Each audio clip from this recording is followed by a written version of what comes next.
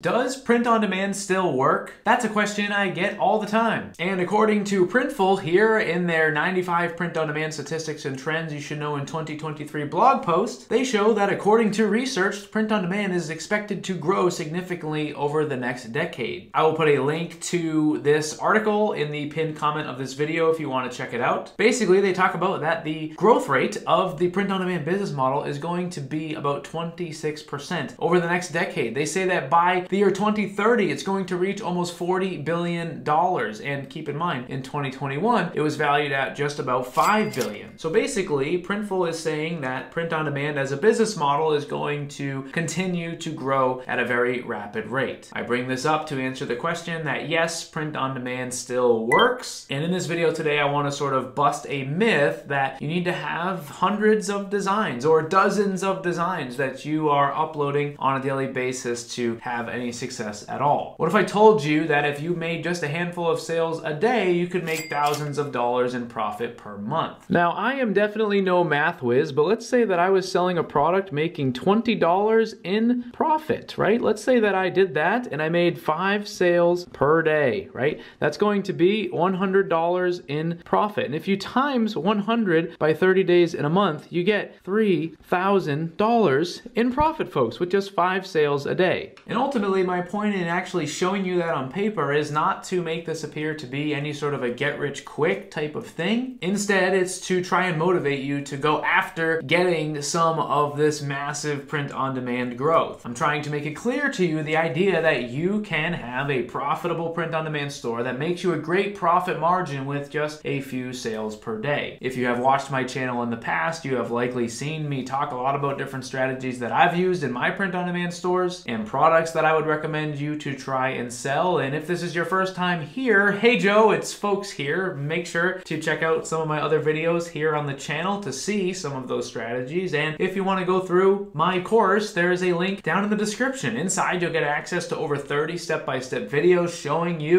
how to actually build yourself a POD store. The best part is it is completely free and there's a link down in the description. So basically what I want to do in this video today is simplify the marketing process that you would use to try to make five sales a day and ultimately create yourself a profitable print on demand store. When it comes to selling print on demand products online, there's really three ways of actually doing that. The first is by utilizing organic traffic. The second is by actually paying for some traffic with something like a Facebook ad or an Instagram ad. And then the third thing is actually using someone else and their traffic, like an influencer, to promote your items. To start here, what we'll talk about is organic. Now, let's say that I had a print on demand store where I was selling gardening related items, you know, different things for people that like to grow vegetables or people that are interested in farming or things like that. What I could do is create myself an Instagram account like this here for the gardening niche and I could go all over the internet and I could find different pictures of really cool gardens like this here. I could post them on my Instagram and I could give the garden owner credit and I could ultimately begin to create a really cool page where I'm posting gardening related photos and videos videos and you know maybe I find someone on TikTok that has a massive cucumber so I repost it on my account and ultimately I create an account that lots of people in the gardening niche want to follow. What I could then do is begin to use those followers as my audience to basically bring people to my website, to my Shopify store to check out my print on demand products. And again, I could do that by first and foremost finding really awesome pictures of people's gardens like this or someone here with a massive cabinet cabbage. And then what I could do is I could slowly start to promote print on demand products that I am selling. You can see here on this post, they basically showed a product that they sell, right? They tell people to visit the store link on the bio of the account. If we scroll back up to the top here of this account, you'll see right in their bio, they've got a link for you to go and buy this. And this is the first way that you can begin to generate traffic to your store and ultimately get on the path of trying to make five sales a day. The second thing that you would want to do is something like this here. These are examples of real Facebook ads that are currently being ran by a store called Wanderprints. You can see in their ads here, they are showing pictures of different signs that they've created and flags that they've created for people that like to garden. You can see here, I'm looking inside of the Facebook ads library where they've actually started these ads on August 22nd of 2022. As I'm making this video, today is, I believe, May 11th, which means these ads have been running for like nine months, which means these ads are are likely bringing them a few sales at least per day. And ultimately, if you get yourself in a position again where you start with organic traffic, where you're creating a social media page and posting cool content and then also promoting your products and now dabbling in paid advertising both on Facebook and on Instagram, you can begin to get even more people to your store. And this is the part that I think is just absolutely amazing with print on demand is that you can come into Facebook and you can type in something like vegetable gardening here or you could even look at a whole bunch of suggested keywords keywords inside of Facebook. Everything from organic farming to backyard gardening to gardener, organic food, house and garden magazine, plant nursery, right? All of these different interests and keywords that are available to us to basically show ads to people that are interested in these things. I don't know about you, but I think it's an amazing thing that as a print on demand store owner, I can build a store. I can put a couple of designs that I made on it for a specific niche. And then I can go into Facebook and I can target people with with an ad that are actually interested in those things, to me, that is an amazing thing. And that is part two of your marketing plan to actually try and generate five sales a day. Now, imagine for a moment that I am someone on social media that has a following of people that like to grill and barbecue, and you have a print on demand store and you sell print on demand aprons. Imagine if you could send me one, and at the beginning of every one of my videos, I could be wearing the apron like this that you sent me, and then I can tell my my followers who love to grill and who love to barbecue that if they want to get a really cool custom apron with avocados on it or maybe something else that you do with the apron, I could tell them about your account, about your Instagram, about your store, and they could go and check it out. This is called influencer marketing, and this is the third way that you should be generating traffic to your store. And right here is an actual example of an influencer post that I found inside of the gardening niche, right? So continuing with the trend here. Now, this is not super super unique. This is pretty common. You could likely find lots of stuff like this. But basically, this guy here has an account that's all about gardening. And a store that sells the metal sign product reached out to him, obviously sent him a sample, allowed him to name his garden. As you can see here in his caption, he wrote a huge thank you to the wonderful team at Mood & Co. for reaching out to see if I would like to name my garden and get a personalized gifted sign. So basically, he's telling his followers, if you want to get your own sign, go check check them out. And he's conveniently tagged their account right here. Someone can click that and go to their store and ultimately order one of their own signs. And like I said, the point of this video today was twofold. First was to basically show you that yes, print on demand is growing. And in order for you to actually have a profitable POD store, you don't need to be making hundreds and hundreds of designs and, you know, making dozens of sales on a daily basis. Ultimately, you can make just a few sales a day. Showed you the math here on this paper, you can ultimately do very, very well. I would advise you to take a look at this article here. Like I said, I will put a link to this in the pinned comment of this video, but it's clear that print on demand is growing. And if you are not doing some things to get traffic to your store, mainly the three things I talked about today, you're probably not going to be generating any sales at all. If you're in the process of just sort of getting your ideas together, um, like I said in the beginning, I have a course. It's free. There's over 30 videos inside of it that will show you the process to get started working on your print on demand store. So that way, ultimately, you can get to the point where you are making one sale a day or two sales a day or five sales a day or whatever it is that you end up doing. Hopefully, basically, like I said, what I'm trying to do with this video is demystify POD. There's really three ways that you get traffic to your store. I showed you them today. And ultimately, you don't need that many sales to really change your life. Honestly, if you were just making one or two sales a day, that's hundreds in profit per month. And to most people, that would likely be life changing. I know for me, if someone was going to show up on my doorstep with a check every month for a couple hundred bucks, I would be pretty excited. And ultimately, that's just fine if that's what you achieve with POD. Hopefully, that'll make sense. That's the end of the video, folks. If you enjoyed it, drop a like, let me know your thoughts, uh, and I will see you guys in the next one.